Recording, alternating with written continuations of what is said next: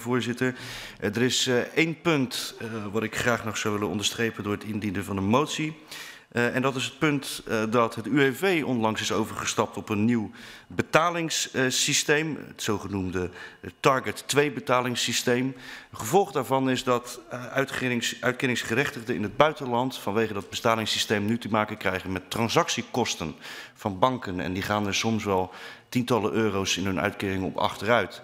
En, en voorzitter, uh, ook al is dat niet een directe verantwoordelijkheid van de regering, het lijkt me een kleine moeite om de banken die die transactiekosten uh, in rekening brengen en ook de mensen die het betreft, die er nu op achteruit gaan, uh, daarvan um, in te lichten dat dit speelt.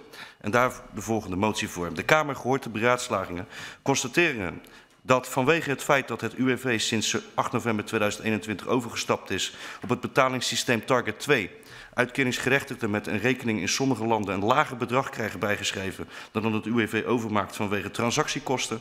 Overwegende dat mensen hierdoor soms tientallen euro's op achteruit gaan.